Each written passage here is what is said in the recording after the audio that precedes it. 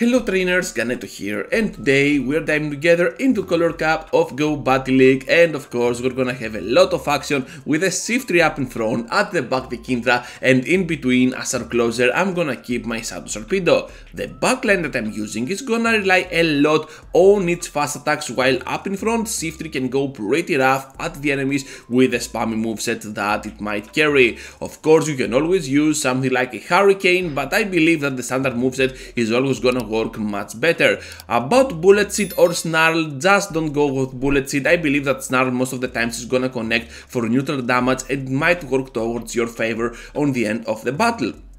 Uh, so right here against the Toxapex, I'm just gonna go in with my Kingdra because I know that I can pressure for that second shield and perhaps we can put this Pokemon at a point that can be absolutely farmable with my Shadow Sharpedo. Most of the times I will keep that second shield for my end game and my Shadow Sharpedo and not two shields because sometimes, well, the second shield will not even be that much of an issue for Sharpedo to faint. Uh, so yeah, we're gonna work with that a lot.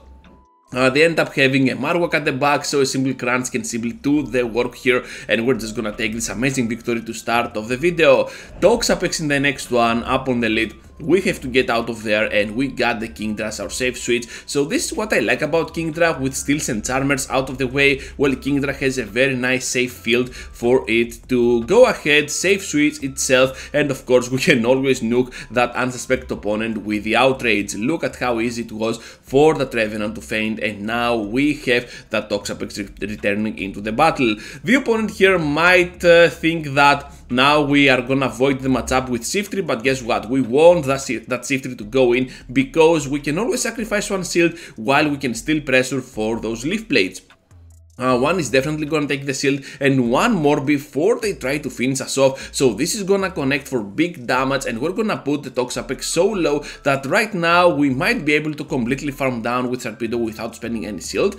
At the back there is gonna be a Shiftry of their own, but guess what? This time it is gonna be a Shadow Shiftry and they take much more damage than usual. So I will try to go here for that Poison Fang in order to debuff this Pokemon because I know we cannot outspeed with that farm down. They can definitely reach to the Leaf Blade first. We can always go with the farm down of our own. We have now the energy needed for the final Leaf Blade and that is gonna connect for amazing damage on the Toxapex and that is gonna secure our victory. Galvantula is always tricky with those lunges, so we have to take care of the damage outputs and not only of the debuff. So at this point I'm just gonna put up the shield on the lunge and then unleash my leaf blade here before uh, they get to the second lunge because we can still put at the point that uh, the second uh, leaf blade is definitely gonna threat it and I want to keep my C3 for the end game. So Kingdra is gonna go in now trying to take uh, one move on its face, doesn't matter at all. We can still farm down and let's see now how how they are gonna respond because Pelipper is coming in and even with a debuffed Kingdra the outrage is gonna hit like a truck.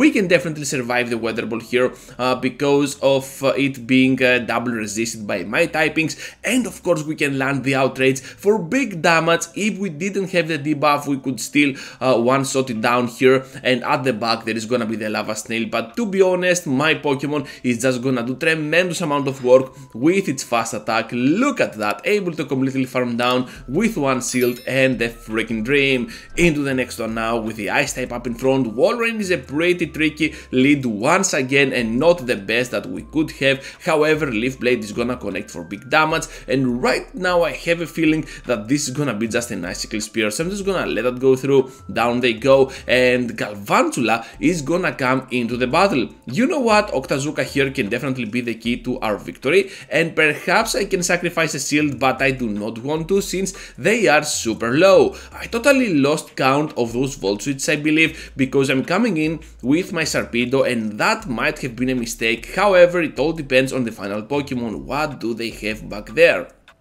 Uh, so he ends up being a Shadow Zapdos. What are you doing, trainer? Are you using my own spells up against me? How dare you? We're just gonna farm down with those bites. Now we're gonna wait for the Walrein, but it is never gonna return to the battle and we're gonna take this victory. fighting types are nowhere to be seen but this trainer has a Blaziken up in front, a Ferrothorn at the back and that is already a checkmate so I'm just gonna leave this battle into the next one now and we're having uh, the Barbaracle up on the lead. Well that was pretty fun for me when I first saw it. I was thinking that okay that is gonna be an easy win but then it hit me, those Fury Cutters are dealing super effective damage twice, double super effective damage being bug type, and of course now we can always answer back with the Leaf Blades, but if they want to they can easily finish me off on the two shield scenario, so here comes the cross chop, not gonna block it, and I'm just gonna go in with my Kingdra. What I want to do though is to rely on the fact that this is gonna be just another cross chop,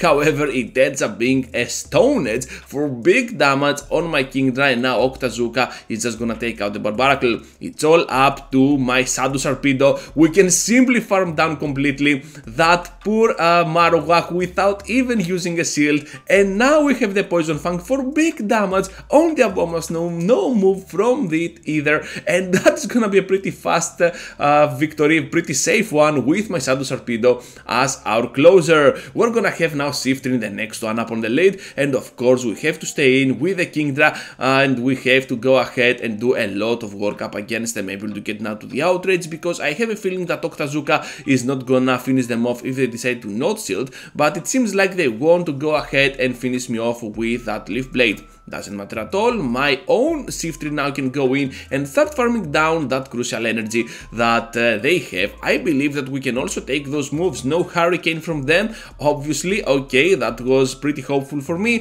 Magcargo comes into the battle and now we have to go ahead and spam those leaf blades. One more to thread that second shield and then I will try to switch out to my uh, Sharpedo because right now I want to see what they have as their third Pokemon because those bites are definitely gonna chunk a nice amount of damage out of this trainer. They end up having a Shadow Zapdos which is crazy but my Shadow Sharpedo here can still hold on, able to reach to the Poison Fang, always feels nice to destroy down the enemy Shadow Zapdos because I am the only master and down they go with that Magcargo as well. Trevenant up on the lead, pretty solid lead for this line and now we're just gonna uh, switch out after we throw those leaf blades. A little bit of luck which is a bummer and now we're gonna throw the leaf blade. I guess they charged up a little bit extra here so I totally missed count of uh, and timing of those uh, Dragon Breaths so now they're gonna reach their move hopefully it's gonna be just an Octazooka and now we can definitely take this one because it is gonna be just another Octazooka which is gonna connect for not super effective damage. Uh, so we're just gonna get now to the next move, which is the outrage up against whatever comes in. It ends up being the Toxapex, and at this point, I believe that my Shiftry can definitely go in, start chunking some uh, a nice amount of uh, HP out of that Toxapex, and with that in mind, with two shields, I believe that Sharpedo is definitely go to town, able to farm down completely here with my bites at the back, the return with the Trevenant, which was their lead Pokemon Pokemon and we're gonna unleash the power of the debuff and the farm down of the bites. Let's get that sweet victory. Uh, winner winner, chicken dinner or shark dinner. So we're having a very nice uh, battle over here. The Trevenant up on the lead and they end up catching the foul play on their uh, Ampharos. It doesn't matter at all, we can still go ahead and save switch in their our uh, Kingdra uh, because even though they can reach to that double uh, Thunder Punch, it doesn't doesn't matter, we have still put that Ampharos to a point that it's gonna be completely destroyable with my Shiftry, we can still take advantage of uh, my Snarls being registered much faster than the Volt switches and down they go. How are they gonna respond now though? Because uh, they definitely must have a counter to my Shiftry, right? And guess what? They don't. So that's why they threw the Ampharos, able to completely farm down here with my uh, Sharpedo and of course at the back there is gonna be a Swampert. At this point I'm just gonna go ahead and use the crunch after I steal the first one, and I believe that this is gonna be more than lethal for the Shadow Swampert, and of course uh, Trevenant without even being able to show itself after it's thrown out of its Pokeball, we're just gonna delete it out of existence. Into the next one with the Toxapex on the switch with the Kingdra, and we have kinda the upper hand here, but they end up blocking, and you know what, it doesn't matter at all, we still have the upper hand with our Shiftry going in pretty clutch up against them. Gonna let that move go through, and ninja being and now trades for big damage. So we have to rely on the Sharpedo right now for anything here. And they have an Exeggutor at the back. So we're gonna close this video with a loss which is a bummer but still I think that it was kinda hilarious. And I think that you're gonna uh, enjoy this team if you try to play it uh, on Go Battle It uh, towards the end of the rotation because yeah fast battles is all you need sometimes in order to succeed in Go Battle League. Thank you for watching trainers, just be sure to leave a huge like before you go, subscribe to the channel if you already haven't, and if you want to support even more, well joining as a member can always help with that matter. Thank you once again and I hope to see you all into the next one. Take care trainers!